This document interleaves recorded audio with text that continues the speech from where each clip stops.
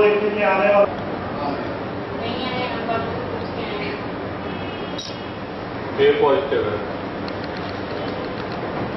आ, सबसे बड़ी समस्या तो स्टाफ की है। स्टाफ जितने सेंक्शन हैं उसके सापेक्ष मात्र सात आठ स्टाफ काम कर रहे हैं। इसमें तीन लैब टेक्नीशियन रेगुलर 24 घंटे काम कर रहे हैं आठ आठ घंटे। प्रभारी अधिकारी सिर्फ़ मैं हूँ तीन डॉक्टरों की पोस्ट वैकेंट है इस समय। तो सबसे बड़ी स्टाफ की ही कमी है। और ब्लड बैंक कितना यूनिट है अपने यहाँ, पूरा उपलब्ध है कि नहीं उपलब्ध है? इस समय हमारे पास नौ यूनिट है। हालाँकि ब्लड बैंक 2007 से शुरू हुआ था और हम 2007 में 118 यूनिट पर थे।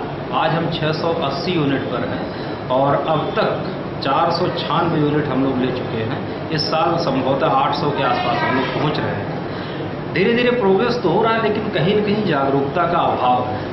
समाज में खून को लेकर के, ब्लड देने को लेकर के लोगों में भ्रांतियाँ हैं कि खून कम हो जाएगा इस तरह से। तो हम लोग वैन के द्वारा स्कूलों में, बाज़ारों में जगह जगह प्रचार प्रसार करने की कोशिश कर रहे हैं जिससे लोग आगे बढ़ें, खासतौर से युवा लोग आगे बढ़ें। हमारे देश में रक्त की कमी नहीं है, लेकिन जागरूकता के अभाव में कहीं कहीं कमी प्रतीत होती है।